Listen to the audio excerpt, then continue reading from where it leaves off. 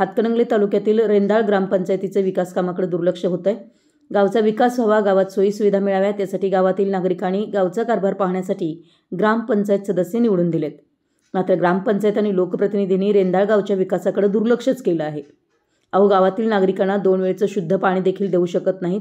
तसेच येथील शाहूकालीन ऐतिहासिक छत्रपती शिवाजी महाराज तलावामध्ये घाणीचं साम्राज्य पसरलं आहे. गावची शान असलेल्या या ऐतिहासिक तलावही दुर्लक्षित आहे. आणि गावात मोकाट जनावरांमुळे नागरिक त्रस्त आहेत. या मोकाट जनावरांचा बंदोबस्त करावा अशा विविध मागण्यांसाठी जागृत रेंदाळ रेंदाळकर सोशल फाउंडेशनच्या वतीनं रेंदाळ ग्रामपंचायतीसमोर आमरण उपोषणास सुरुवात झाली. आमरण उपोषण मागे घेण्यासाठी रात्री उशिरापर्यंत ग्रामपंचायत प्रशासन व जागृत सोशल फाउंडेशन यांच्या चर्चा सुरू होत्या परंतु मागण्या मान्य न झाल्यानं उपोषण सुरूच राहिलं. जागृत रेंदाळकर सोशल फाउंडेशनच्या मार्फत गावातील विविध मागण्यांसाठी सोमवारपासून आमरण उपोषण सुरू केलं आहे.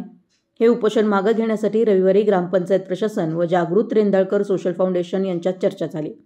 पण उपोषणकर्त्यांचं समाधान न झाल्यानं सोमवारी उपोषणाला सुरुवात झाली. रेंदाळगावचे लोकनियुक्त सरपंच स- विजय माळी ग्रामविकास अधिकारी बी टी कुंभार यांनी चर्चेच्या अनुषंगानं पत्र देऊन उपोषण सोडण्याची विनंती करण्यासाठी उपोषणाच्या ठिकाणी सरपंच विजय माळी गेले असता त्या ठिकाणी अध्यक्ष उपोषणस्थळी नसल्यानं पत्र कोण स्वीकारणार असा प्रश्न निर्माण झाला होता.